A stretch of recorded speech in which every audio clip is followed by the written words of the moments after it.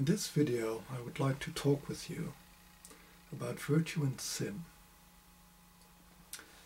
In the previous video you could already hear that morality is basically more about which tribe or which group you belong to. And virtue and sin are not so much about group identity. It is more about how to um, progress religiously. And religion I use here in the term of uh, religare, reconnect, so to enhance your connection with higher powers. And every uh, religion or path or deity has its own set of virtues and sins. Because what is the defining value of a virtue or a sin?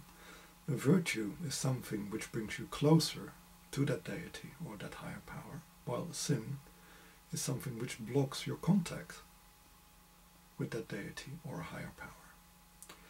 So you cannot, in absolute terms, talk about virtue and sin. You can talk about virtue and sin regarding a specific path to a specific deity, because with certain deities there are even several paths you can follow to, yeah, develop religiously um, a better connection with that deity.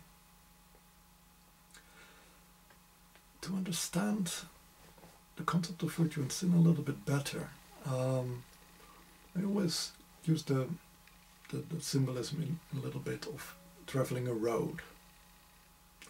And you are at a certain place and the deity is at a certain different place. And over time, you're attempting to get closer and closer. And in a way, as you get closer, in beginning, when something is very far, it is very faint. You can almost not see the light. And as you come closer, it, the presence of that light becomes more and more intense. And in the end, just as you are approaching the sun, you're in a way absorbed into that light. And your own light becomes, in a way, outshone by the, shi- by the shine of the deity. This is the process of religion. And that your light becomes closer to the divine light. And as it does so, the divine light becomes more clear and you start, in a way, to be less blinded by your own light. When we talk about a virtue, it is about that divine light which exists outside of us, but also inside of us. And it is like two magnets.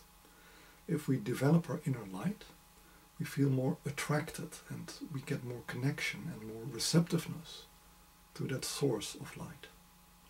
So by developing a certain quality, certain goodness, which the deity stands for, we feel more attracted to it, we are more attracted to it, and by working with it, by growing it, we get more close to that divine source.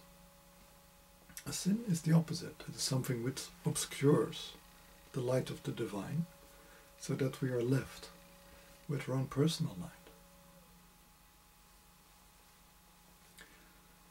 So the process of working with virtue and sin is a process of blinding ourselves to the divine light and seeing only our own light if we are sinful, or the opposite, focusing on the divine light and seeing the divine light within us rather than our own personal light if we are virtuous. So it is very much a part, a path of selfishness, of learning how to follow the guidance of the higher power. So if we're talking about um, virtues and sins, there are certain things which most religions have in common. One thing they have in common is truthfulness. Because ultimately, if we are not true to ourselves, if we are lying to ourselves or lying to others, ultimately we lose sight of reality and we go into all kinds of fantasies we start living in a fantasy world and we start condemning other people to a fantasy world. And it is like being lost in a fog. You don't know which direction you're going. And slowly but surely you drift away from where you are going. You're just going in circles. This is why truthfulness is a virtue in many, many different religions. Another one which is very related to it is justice. That we, in a way, have a sense of what is the will of the God, what is right according to the view of the God, and what is wrong. And that things happen appropriately to the will of the God. And this is the essence of justice. If we act in a just way, we do what in a way the God would want us to do. If we act in an unjust way, we are going against the wishes of that deity. So it's important to see that in as a sin or a virtue, justice is not about yeah, laws or morality. It's about following the guidance of the deity. And by doing acting like the deity would act or would have us act, we become more similar to that deity with every action. Because we're building patterns, we're building habits, so we're building the habit of being like a god. And by having this habit, we come closer to their station, to their understanding, to their light, to their power. So the path of virtue is in a way a path of religion, a path of becoming more similar to a deity, while a path of sin is ultimately becoming more uh, like we are, so sinfulness is not by definition a descent, and, or that we are degrading ourselves, but we are in a way blinding ourselves to the guidance from God. This is why often very strong emotions, uh, whether it is lust or greed or fear, um, are seen as sins. Because ultimately, these are things which are arising from ourselves and they can be so strong, so overpowering, that we are unable to see what the higher powers would want of us, what they would have us see or do or think or feel. By being overpowered by these impulses coming from within, we lose our religion, we lose our ability to reconnect with the divine, our true guide. So we start not even guiding ourselves, but being guided by these lower impulses, by these lower spirits also sometimes, which feed and stimulate these lower impulses like fear or anger or greed within ourselves. And there are parts within society and definitely parts within ourselves and most especially in our egos which feed that sinful behavior. Because the ego wants to maintain itself, wants to have safety, security within the body. And also, uh, we like to have a position within society. We like to have a home and food and clothes to wear and money in the bank and all these things. It gives us a feeling of safety, of relaxation. And these driving forces are okay. They have a place in our lives. I need clothes, otherwise I will freeze. I need food, otherwise I will starve. I need shelter, Otherwise, I will get sick.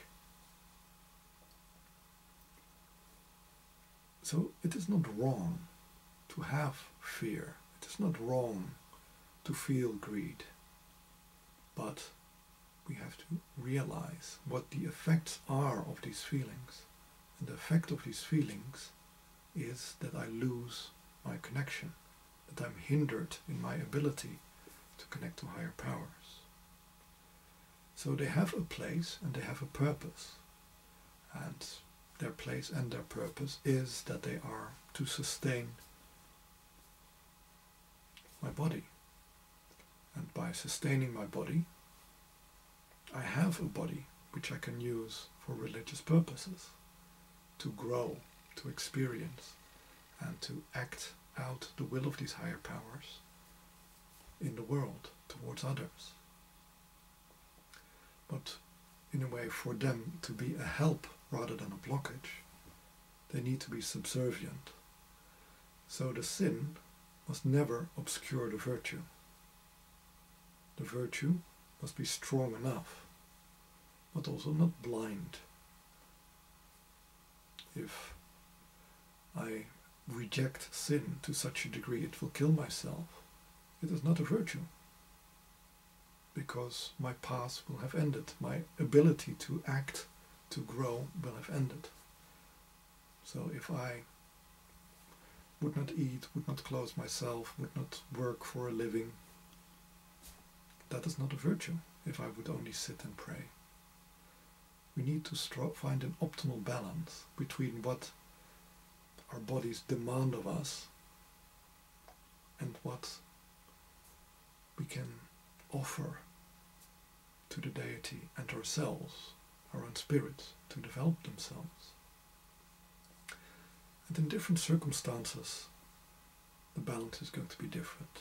If I would have a very easy job, uh, where I would make a lot of money with little effort, um, then I would have a lot of time available for my spiritual development, to act on my virtues. If, for instance, I'm in a position where I have to work day shifts, night shifts, and I'm completely exhausted, there's very little opportunity for my religion.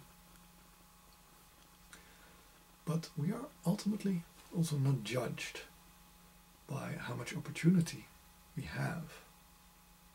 And to have a lot of opportunity is a blessing, and to have very little opportunity is a curse. But how we deal with them ultimately decides our station in relationship to that higher power. So if I have all this wealth and luxury and I don't have to work and I do not do anything religious, I do not anything to develop myself or to act virtuously towards other beings, then obviously I'm not worth the blessing. I just waste the opportunities I'm given. And the deity will not be appreciative of me because I'm basically, from its perspective, a wastrel, a person who squanders his opportunities. And therefore, I'm not very deserving of help or aid on my path because I'm not making progress or as much progress as I could easily do on that path. Well, if I'm a person who's living in very difficult circumstances, but using every opportunity I have, even while at work, to chant, to pray, uh, to do short meditations, or to act out in the most virtuous manner I can towards the others in my job, then that God or Goddess will believe. This is a person who seizes every opportunity they have to come closer to me, who sees really the value of what I have to offer and sees the value of their path. And they will be very inclined to support me, to bless me, to guide me. And ultimately, if you would average things out over many, many lifetimes, things would gravitate towards that. That people yeah, who have uh, served higher powers well will yeah, receive more support from those higher powers and also will karmatically be given more opportunities to work with their virtues, while people who in a way waste their opportunities, who are acting in sinful manners, being absorbed by themselves rather than seizing the opportunity to act in a virtuous manner, will ultimately drift away from the deity and become more and more self-absorbed and receive less and less guidance from these higher powers. And here it is very important to see the difference between being blessed by higher powers and the benefits of being a selfish person. Blessings by higher powers are very, very valuable because they allow us to see beyond our own horizon um, to see the light of the tunnel, to see the solution to our predicament, to find ways to get out of paradoxical problems which have us paralyzed. So this is the power of blessings. That you are a blessed person basically means that you're never at a standstill, that you're continuously growing and developing yourself and gaining more insight, gaining more wisdom, um, gaining more discipline. If we look at the benefits of being selfish, it is that you're better at, comp- at competing with others because you're no longer, in a way, distracted by acting in a virtuous manner or developing yourself. You just try to find the uh, most efficient solution to better your own position. So it is not always true that the virtuous person will have the highest position in society. It is often the most sinful person who will get the highest position within society. And unfortunately, even within religion, there is a reward for sin. People who are good at politics, who are good at making friends, who are good at manipulating others, they will also rise higher in hierarchies or gain more power or gain more wealth. Because this is what they are trying to achieve, this is their goal, and this is what they work towards. And they will gather that onto themselves. And just like the virtuous person, they will gather the support and the blessings of higher beings onto themselves. So both of them are gathering, in a way, riches. But the riches of the sinful person tend to be in the form of the things which the self craves. They will have nice clothes, they will have a nice house, they will have money in the bank, um, they will have a position, they will have respect um, within their world, which is the world of the ego. While the virtuous person will also build up riches, and their riches will be their spirit friends, um, the insights they have, the wisdom, their experience, their discipline, their toughness, their resilience, and most importantly, the karmatic patterns which they create, which will last many, many lifetimes. So these same patterns of virtuous behavior will prevent you from missteps in your next incarnation. And the same patterns of sinful behavior will guide you further along the path of the ego in your next incarnation. So if you have, in a way, the, the consciousness and the good fortune maybe to um, realize this, how in a way um, sin has its wages and virtue has its wages.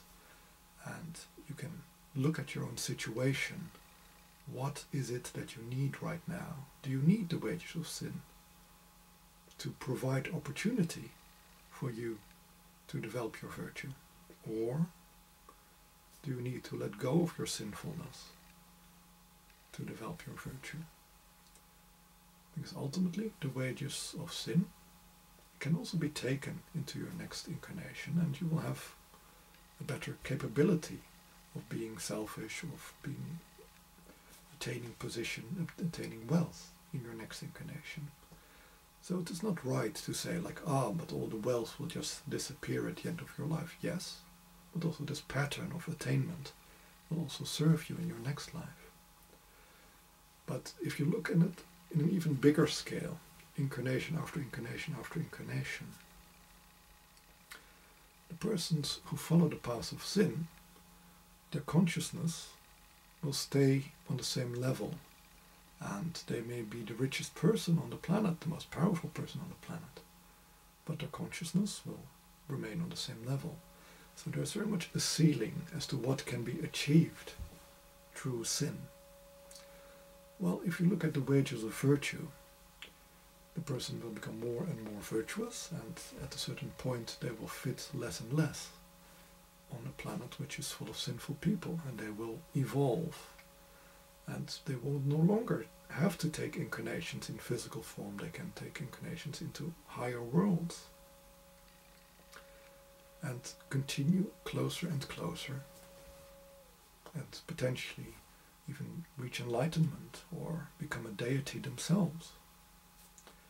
So, on the short term, yes, sin has benefits. On the long term, you're going to hit a ceiling, and it is a very, very difficult switch if you've gone very far on the path of sin to let go of all those patterns you've built, all those habits you've built over those many incarnations, and to shift to a different pattern where you're not serving yourself but a higher power. And opinions are divided whether we need higher powers ultimately to reach higher levels of consciousness.